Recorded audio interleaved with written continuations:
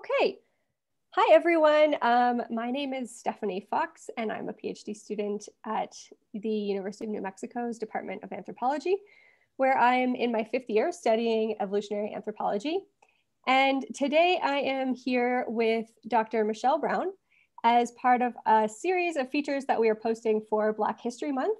Um, Michelle is an alumni of our department and here to talk about some of her experiences as a Black woman in um, our department and in academia and in primatology more broadly. So thank you very much for being here with us, Michelle. Um, Michelle is currently an assistant professor at the University of California, Santa Barbara, and a research associate with the Max Planck Institute for Animal Behavior. And she is the co-director of the Anthropology Biobehavioral Laboratory at UCSB and the founder and director of the Ngogo Monkey Project, which is based in Uganda, where she studies an impressive five different species of primate. Before becoming an assistant professor, she did her um, undergraduate degree at Harvard in cognitive science, uh, cognitive neuroscience, sorry. And then she did her PhD and master's at Columbia University in evolutionary anthropology, or sorry, evolutionary primatology. Um, and then she was actually a postdoc at UNM uh, with my advisor, Dr. Melissa Emery Thompson, from 2011 to 2014. Um, and um, I'm going to actually turn it over to Michelle to sort of elaborate on my introduction here because I like to hear a little bit more about people than just sort of their current position. So, um, Michelle, maybe you can just tell us a little bit about your background in terms of um, where you came from and how you kind of got to where you are now. Thanks, Stephanie. Um, happy to do that. So it's funny how when somebody introduces another person, it sounds like a nice unbroken chain of events. And that's not how it worked for me. uh, there are all kinds of gaps and fits and starts in between. So um, I'm, I'm from the Chicago area and I've always been interested in animal behavior, but for a long time I couldn't figure out what that would mean career career wise or if there even was such a thing outside of being a veterinarian or a zookeeper. So uh, I was really lucky. There was this chance event, uh, I guess when I was in eighth grade, my dad was a plumber and he happened to be working at somebody's house and they got to talking. And that guy who he was talking with turned out to be the curator of the Division of Reptiles and Amphibians at the Field Museum of Natural History. And at the time, I had two snakes at home and they thought this was great. And so the, the curator, this is Dr. Harold Voris, he had me come into the museum and I started volunteering there and I worked there for six years. So that was really my first uh, exposure to research and what that could look like outside of uh, veterinary work or zookeeping. So that was a really transformative experience for me. And now I'm a huge proponent of long term mentoring because of the experience that I had. And then when I went to college, though, at the time, there weren't really people that I could find, faculty who I could find, who were studying animal behavior, at least not in the biology department. There were some individuals who were studying uh, cognition, animal cognition, and psychology, but that wasn't really my main interest. And it was years before I realized that the people who were actually studying animal behavior were in anthropology. And I think this is a common problem at a lot of universities is that students don't know that if they have an interest in animal behavior, a good place for them to go, especially if their university doesn't have an ecology department, is anthropology. And that's because there's a lot of focus on behavioral ecology of humans and non-human primates within such departments. Um, but then, you know, after college, I wasn't quite sure what I wanted to do. And I did not go straight into graduate school. Uh, I worked for four years. So the first year I was volunteering at an orangutan research site in Borneo. And then I came back and worked for the same professor as a stateside research, research assistant. And I wanted to try conservation. So I, I went and worked at Conservation International for a year and a half. And it was during that experience that I really decided that my future was in academia as a research scientist. So that brought me into graduate school and then started to become a little bit more um, seamless, I guess you could say, in terms of pursuing research. Awesome. Thank you for that. Um, so I did want to ask you um, today about something that you're, I know you're particularly passionate about changing in academia. And it, you kind of mentioned something in your story there about sort of the luck of meeting somebody who um, kind of opened this little gateway for you that led to your career. Um, and I know that something that you you're sort of focused on these days is the process of admissions into graduate school and sort of the, the process of um, admitting students generally speaking into sort of academic fields, especially in a field like ours where we do a lot of field research, um, where students are kind of expected these days to have experience before coming into graduate school, and they're expected to have field experience as well, which is a big burden to a lot of students um, and can be sort of exclusionary, right? And so I'm just interested to hear your thoughts on that um, and sort of where, where you're at these days on, on that topic. That's a great question. Um, the, the pre-grad school field experience is a really crucial element for applying to graduate schools. A lot of universities, their graduate programs are no longer requiring GREs or any kind of standardized test but there's still this expectation that students will have research experience. And if you're planning to get your PhD in a fieldwork intensive discipline like uh, primatology, so many different forms of ecology, biological anthropology, fieldwork experience. Biology. Yeah, right. Lots of different fields. the the yeah. fieldwork aspect, that training is still quite important. Um, and that's because this experience tells the student whether this is something that they enjoy enough that they would want to continue doing that. Uh, it's sort of a marker of being able to handle all kinds of unusual and challenging circumstances. But depending on the type of fieldwork experience that students are expected to have, it can be hugely expensive, right? So when I went off to Borneo to volunteer for an orangutan project, the airfare, the uh, visa, the health insurance, food, uh, field supplies, right? You, you, nobody wears jeans into the forest. There's all kinds of special clothing and tools that we're expected to have to, to go into the forest. Uh, and that, that really is a make or break kind of situation. So I had been working part-time for years and years uh, before I was able to go to Borneo to, to participate in that project.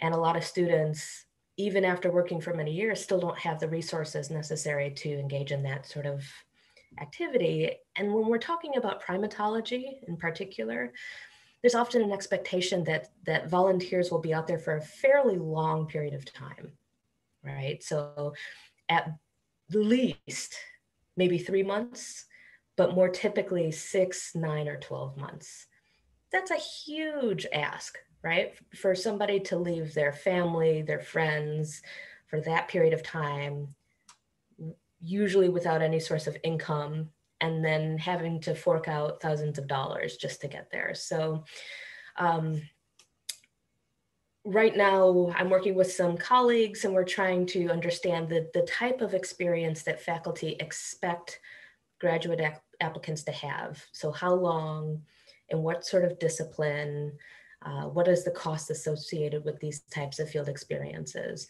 to really outline for some of our national funding agencies like the National Science Foundation that there's a funding gap here. This is a problem that can be solved with money. And if we do it right, we can set it up in such a way that these postgrads are paired with individuals who want to be bringing uh, postgrads out to their field sites and that are invested in mentoring them, preparing them for graduate school, because that's that's a really great time for students to be diving whole hog into the research experience, right? Sometimes as an undergrad, we're so busy taking classes that we don't have a lot of time to participate in research. But after graduation, that could be a really good time to, to get the full experience. Yeah, absolutely. I really like that um, you know you've put so much thought into that but also like the action is awesome way to go um, i also want to ask like on that note you know so this is in progress um, but there's a there's a time lag so for students right now who are interested in getting that kind of experience and for faculty I'm kind of curious to know what your advice is for this sort of period of limbo, maybe before we can get to a place that's more equitable in terms of opportunity. Well, we have to be creative, right? Um, so more faculty, when applying for their own research grants, can write in money for postgrads specifically, not necessarily undergraduates, not necessarily graduate students, but postgrads to participate in these activities because of that, that critical gap. Um, and for the, the postgrads, I hope that they will keep in mind that the type of fieldwork experience they get doesn't have to be a one-to-one match necessarily with the type of research that they plan to do for their dissertation and during graduate school. So for instance, if you think you want to go out and study primates, that's great, but it's expensive. If you can't afford to go out and volunteer for a year on the other side of the planet, maybe what you can do is get research experience more locally for a slightly shorter period of time. And that will still demonstrate that you have the experience that you need to really demonstrate that you're you're invested in this process yeah, that's actually that's really good advice on both fronts. And I'm really excited to see how, you know, your work on this topic flourishes hopefully over the next couple of years. Um, yeah. So I also wanted to ask you a question about so so we've talked a little bit about sort of that path of getting into graduate school. Um, but I also want to ask you a bit about your experiences in graduate school, particularly, you know, there's a lot of discussion on campuses right now about inclusion and diversity on campus and trying to both attract more diverse students, but also to retain the more diverse students that they have. And um, a lot of that discussion, I think there's some very practical things that we talk about, like funding. You know, we need to provide stable funding for um, a PhD student who doesn't come from a family of, you know, high economic status, where so that they can be independent. So that's kind of like a very practical thing, but one thing that's a little bit harder, I think, to nail down are, is just like the actual experience of wanting to be there. And I'm curious to know how your graduate experience was in that sense of like feeling welcome on campus as a Black woman um, on your campus, and and what you think like maybe we should be keeping in mind when we think about retention in terms of like actually making students feel like they belong and they want to stay and they're motivated to be there. Yeah. Well, in retrospect, I think I was pretty lucky. Uh, both when I was in college and in graduate school, I was in large cities, right? So Columbia University is in New York. And overall, there is more diversity in New York, right, than we see in a lot of other parts of the country. In my department, it's the ecology department at Columbia, it was also a very diverse space. And so for me, it didn't feel quite that unusual for me to be there. Um, primatology, on the other hand, is a less diverse discipline. Uh, but for me, that was really buffered my, by the fact that my department was uh, very mixed in terms of the composition of students. So that was nice. It, the first time in academia where I really started to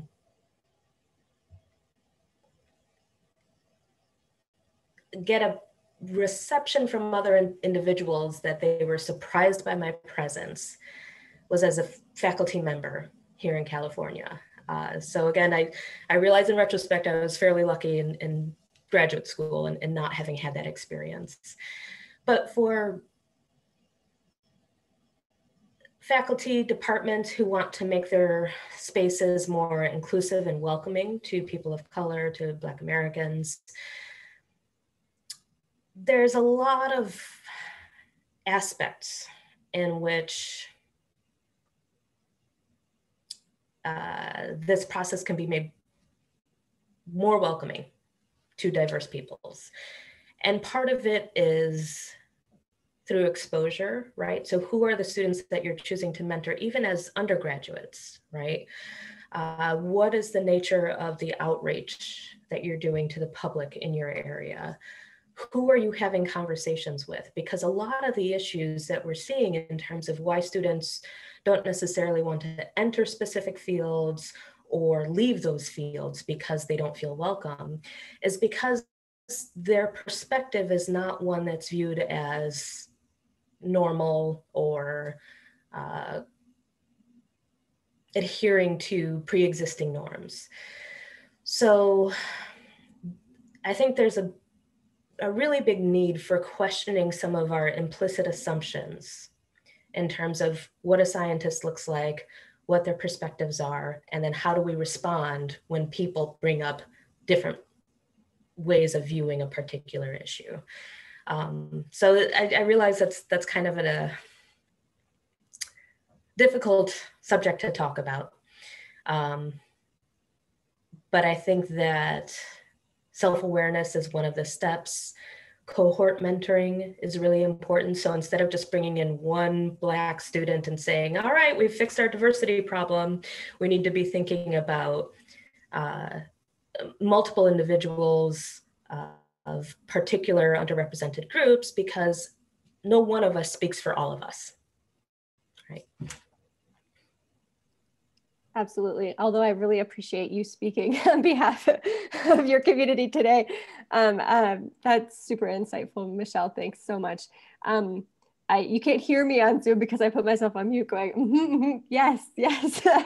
um, I know it is a difficult thing to talk about though, and a difficult thing to see change overnight, but um, your advice, I think, and insights are spot on. So um, the last question that I wanted to ask is about um, just sort of your advice, particularly for the UNM um, graduates and undergraduates and who are in primatology or, or other fields of anthropology. Um, you know, is there sort of one piece of advice that you live by that you'd like to share? Um, yeah, go ahead. Well, maybe I'll make it two pieces of advice. For sure. um, the first thing, and, and I've seen this as not only important for myself, but important in the careers and lives and trajectories of other individuals, is persistence, right? So uh, it's really common to run up against some obstacles, some walls, some challenge. And instead of letting that dissuade you from getting a degree or pursuing academia, we have to say, okay, there's there's a challenge there, there's a um, an obstacle, and maybe there isn't an immediate way for me to break it break it down, but there might be a way to get around it, and there might be a way to just sort of hang tight for a little while until the situation changes because sometimes these obstacles are really not under our own control. And even if it's not an obstacle, sometimes we just need a little extra time, right? So, my process in which I went from college to working for four years before going into graduate school, that time off, I wouldn't trade it for anything. Um, that was a really useful set of experiences for me. And uh, I think a lot of students probably could benefit from similar sorts of experiences.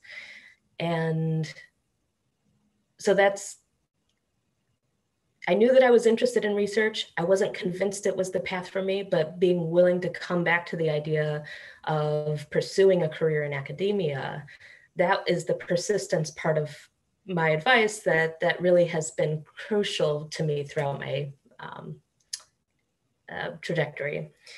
The second thing I would say is that, and this is very much from my own experience, the, the thing that keeps me afloat through thick and thin is my interest in the research and the questions that I'm addressing. So if, if these weren't things that I really enjoyed thinking about and talking about and speculating and designing research projects to address and then doing the analyses on the data that I've collected, it wouldn't be worthwhile for me. So if you find yourself really drawn to specific questions, that hopefully should be motivating your persistence, no matter what sorts of obstacles are uh, in your path. I agree. And I'm also going to take that advice. That's good advice. Yes. Um, Okay, Michelle, thank you so much for spending some time with me today and contributing to our Black History Month features um, for the UNM Department of Anthropology. Um, it's been a pleasure. I appreciate all of your insight and your advice. Um, and I hope that we get to chat again soon. Hopefully it won't be too long. Thank you. It's been my pleasure. Great to yeah. see you. Okay, I'm just going